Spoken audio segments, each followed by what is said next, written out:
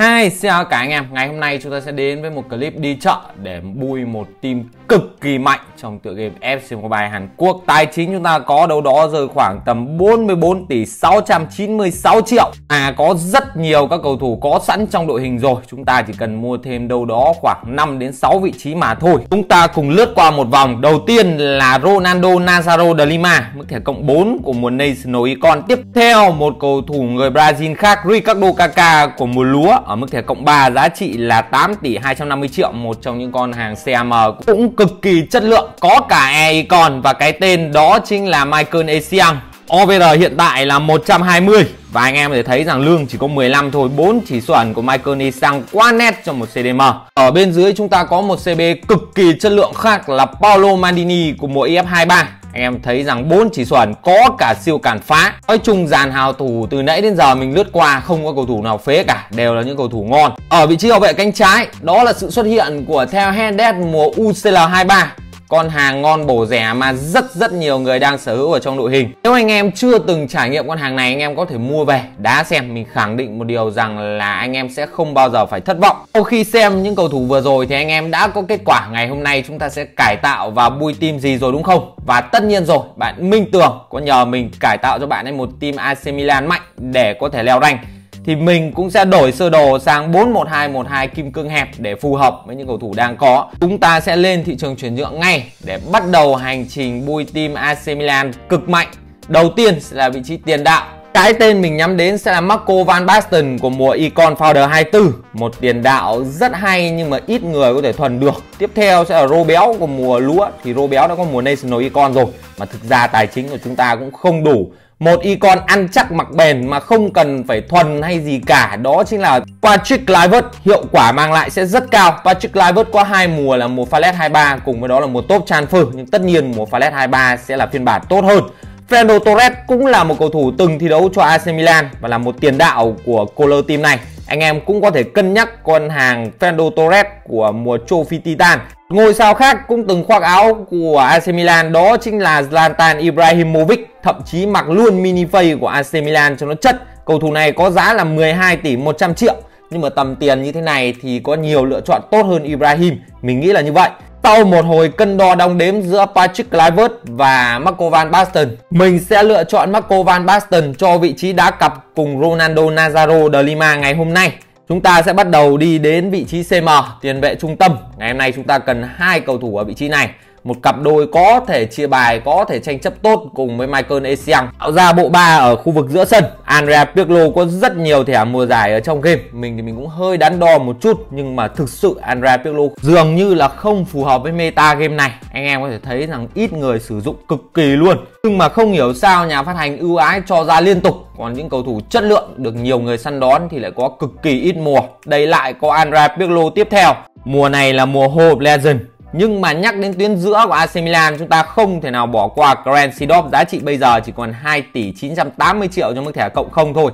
Tầm giá 3 tỷ, mình cảm giác con hàng này gần như là vô địch rồi. Cao 1m76 nặng 77kg Thể hình nhìn rất đầm, Tranh chấp tốt. Tầm 3 tỷ thì không có sự lấn cấn nào cho Grand Sidorf cả. Quan trọng là chúng ta phải cần tìm người đã cặp với Grand Sidorf mà thôi. Những Patrick Vieira, mùa lúa hay là Ruth Gullit của mùa ES22 thực sự quá đắt với tầm tiền chúng ta có ngày hôm nay như vậy là chúng ta sẽ xuống đến vị trí RB trước sẽ đi mua RB, CB và GK trước khi quay lại vị trí CM để sao cho tầm tài chính nó phù hợp.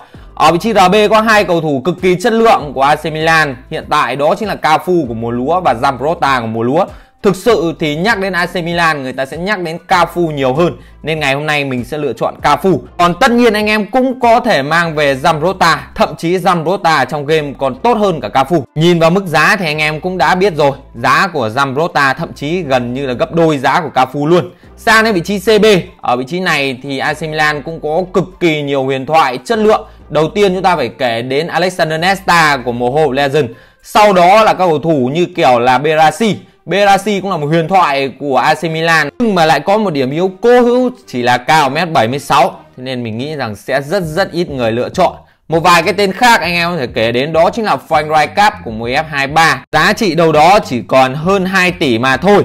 Một cái tên chất lượng khác anh em cũng nên nhắm đến đó chính là Marco De Zayli cầu thủ này có giá đâu đó là 5 tỷ cho mức thẻ cộng không. Nhưng mà chúng ta sẽ ưu tiên sự lựa chọn chất lượng cho những vị trí như kiểu là CB, CM hay ST bỏ đâu đó khoảng hơn 10 tỷ để đưa về Alexander Nesta, đã cặp cùng với Paolo Maldini cặp bài chung của câu lạc bộ AC Milan năm nào. Đã chốt xong được trung vệ, chúng ta sẽ chuyển sang vị trí GK ở vị trí này thì team AC Milan có hai cái tên chất lượng, đó chính là Donnarumma và Mainen. Chỉ số cao nhất của Mainen là 119 đây là một tòa ti HM23 mình thấy ít người chơi mùa này lắm. Tiếp theo sẽ là mùa Utos 22 của Mainen Order 117 và Donnarumma là 116 nhưng mà ngày hôm nay mình sẽ lựa chọn Mainen nha anh em. Mainen có mùa U tốt này thì ngon bổ rẻ này nhưng mà thậm chí là anh em sẽ không thể nào mà đặt mua được ở mức thẻ cộng không. Anh em nhìn lên đến cộng 2 cộng 3 vẫn có người đặt, thì tất nhiên là người ta sẽ nâng lên cộng 2 cộng 3 để người ta bán rồi. Nâng lên những mức thẻ này thì rất đơn giản thôi, không có chuyện người ta sẽ nhả cộng không cho anh em đâu. Mà có nhả thì anh em phải đợi cả tháng anh em mới mua được ở mức thẻ cộng không. Anh em nên nhớ khi mà anh em mua U tốt 22 là anh em phải đợi chờ những khoảng thời gian như vậy tùy thuộc vào những cầu thủ. Mình đánh giá rất cao Maiden của mũ Utos 22 nhưng mà để bỏ ra đâu đó 12 tỷ trong con GK thì mình nghĩ rằng chúng ta nên nâng cấp những vị trí khác. Phần này lại hơi lấn cấn rồi, chúng ta lại quay về vị trí CM ở vị trí CM có hai con hàng best, đó chính là Ruth Gullit 118 và Patrick Vieira 119 nhưng mà thực sự chúng ta không đủ tài chính. Thế nên là chúng ta sẽ mua một con hàng rẻ hơn để sau này, để tiền lại, chúng ta sẽ thay thế sau. Và con hàng mình lựa chọn đó chính là rút gulit của mùa IS22 phiên bản OR116 đây chính là root gulit tốt thứ hai. Mình xin nhắc lại là tốt thứ hai Chỉ sau cái con root gulit 118 thôi. Thế nên mức giá là 3 tỷ rưỡi Quá hợp lý cho root gulit này. Chúng ta để tiền lại. Sau này có đủ tài chính thì chúng ta sẽ cân nhắc lựa chọn Viara hay là gulit xịn sau. Gulit 116 mình mua giá min với giá là 3 tỷ 490 triệu. Chốt phương án GK vẫn là để dành tiền lại sau này nâng cấp sau. Chúng ta có hai phiên bản rẻ hơn của Mainen đó chính là mùa UCL 23 và mùa Toati 23. Đối với quan điểm cá nhân của mình thì AI của mùa Toati sẽ ngon hơn mùa UCL 23 thế nên mình sẽ lựa chọn cầu thủ này, mức thẻ cộng 5.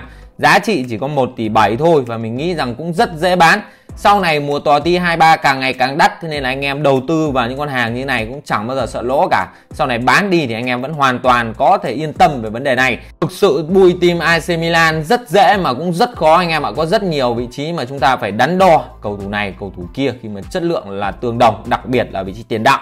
Sau một khoảng thời gian đi chợ, đâu đó là mất một đêm thì cả đội hình mới về và chúng ta có thể thấy rằng đội hình đã hoàn thiện có giá trị đâu đó gần 60 tỷ. Bộ ba tiền vệ nhìn rất hùng hổ và mình nghĩ rằng bộ ba này sẽ gần như bao sân và giúp cho bộ ba tấn công có thể thể hiện được khả năng của mình. Sự mới lạ trên hàng công với Ricardo Kaká, với Marco Van Basten và với Ronaldo Nazario de Lima. Ở bộ tứ vệ chúng ta có Paolo Maldini, Alexander Nesta, theo Hendes và Cafu, chất lượng trong khung thành sẽ là sự lựa chọn ngon bổ rẻ GK Mainen. Anh em đánh giá như thế nào về team này? Anh em có thể cho mình một ý kiến được không?